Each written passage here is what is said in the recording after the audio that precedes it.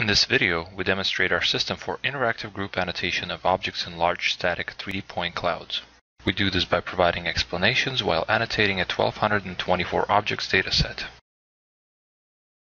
The system automatically selects groups of objects and centers the camera on them. Selected objects are shown in yellow.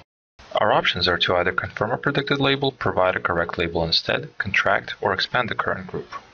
Before assigning a label, we need to first understand what the selected objects are. To streamline visual analysis of the group and to facilitate understanding of 3D shapes on a 2D screen, the system automatically fits the group on the screen and performs continuous rotations around it. However, if we need a better look, we can take control over the camera.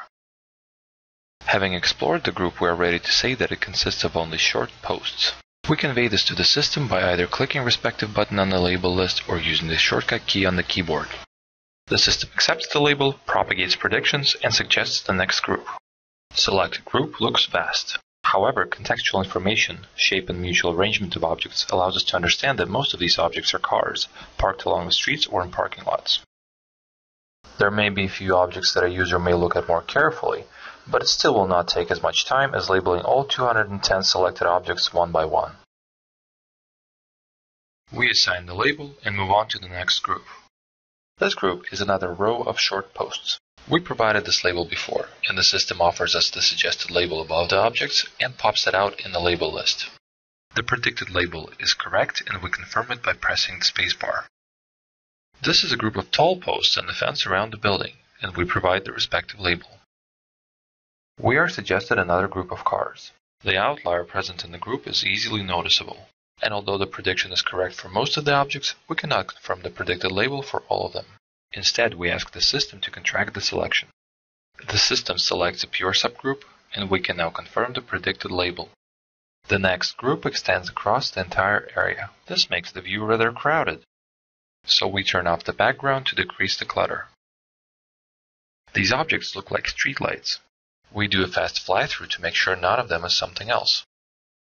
After that, we provide the label. For this group, we again confirm that these are indeed short posts. Next group mostly contains traffic lights.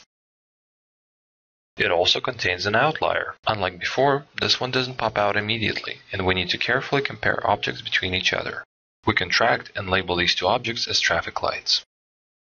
This is yet another row of short posts. At this point, we introduced main elements of the system, meanwhile having annotated over 600 objects. For the purpose of time, we accelerate the playback speed of the rest of the session. Please note that as we move along, groups become smaller. Partly because certain objects don't exist in discernible groups.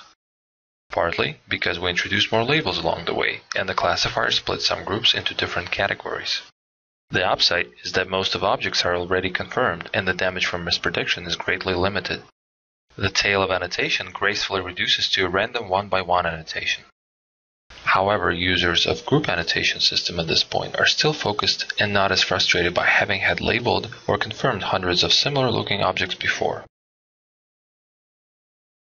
In summary, we presented an interface that allows for faster annotation of 3D data by intelligently selecting objects in homogeneous groups that are identifiable together. Our interface is minimalistic and yet allows for both easy provision of labels and rapid recovery from bad group suggestions. In our user study, it proved to decrease the time necessary to annotate our test area by a factor of two, while maintaining the same level of accuracy. Thank you for your attention.